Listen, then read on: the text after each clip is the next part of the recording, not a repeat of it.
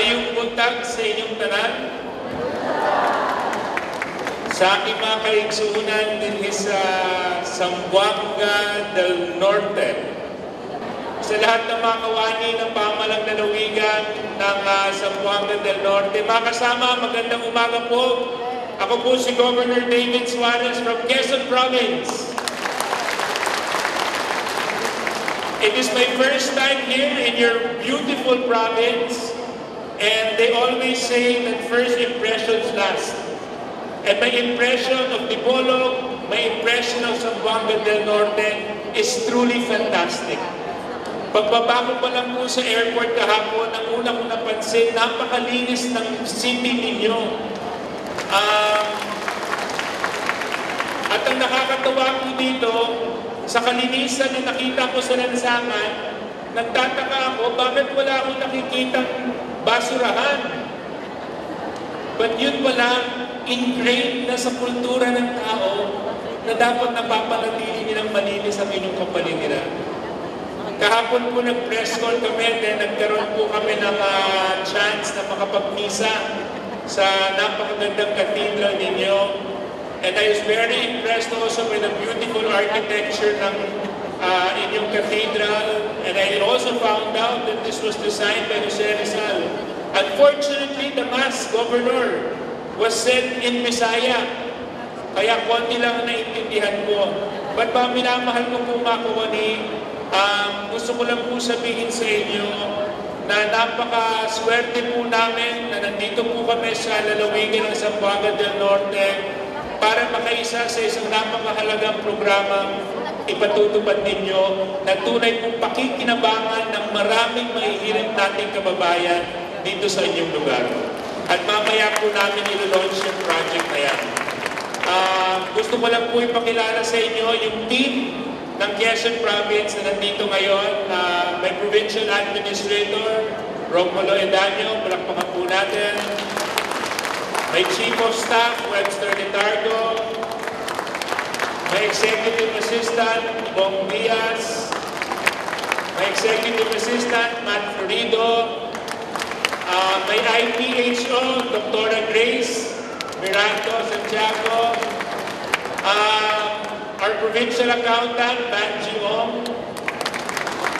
And my PIO Officer, uh, Jan Janet Buelo.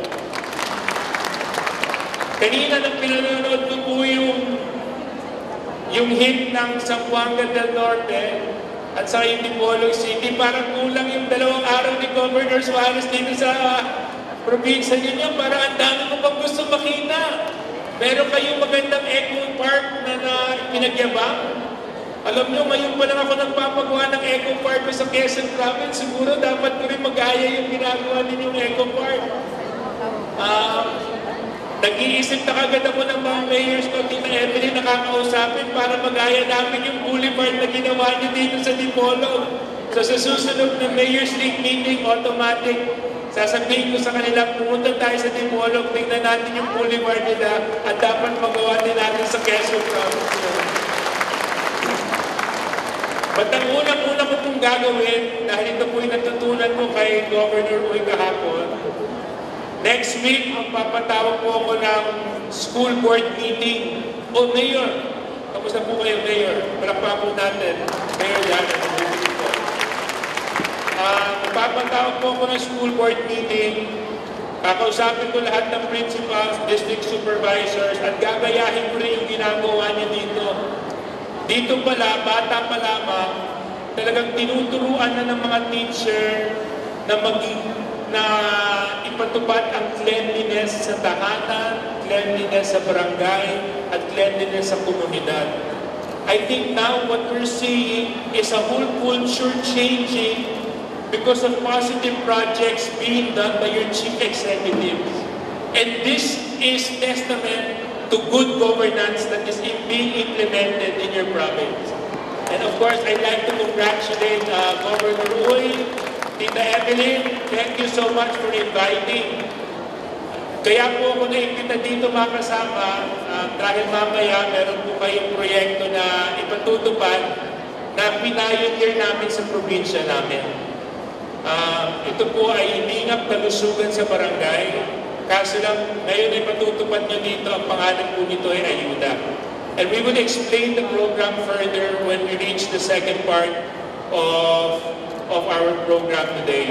But since ito po ay flag raising ceremony, alam nyo sa lahat ng mga empleyado na nandito ngayon, nasa na po ba yung mga empleyado ng Kapitolyo? Um, you're so blessed to have a governor that works seven days a day, uh, seven days a week.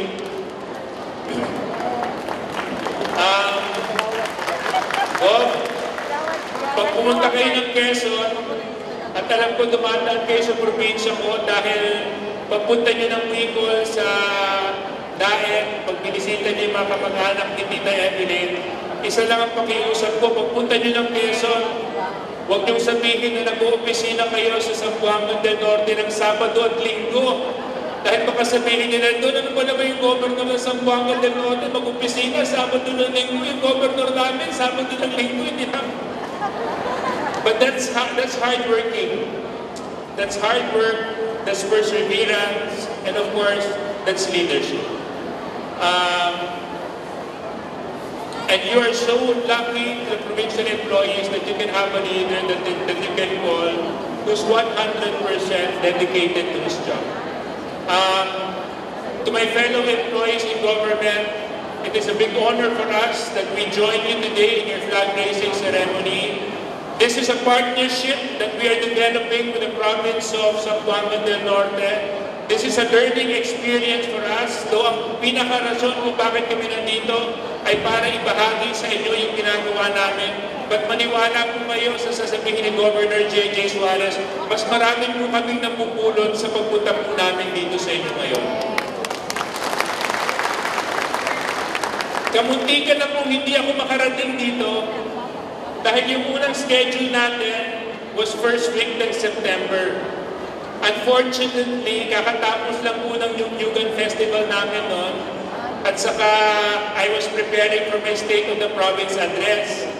Nag-move ng date sinabi September 15. Sabi ko, kabur-birthday pa lang ng anak ko noon. Baka hindi ako maalisin ng misis ko.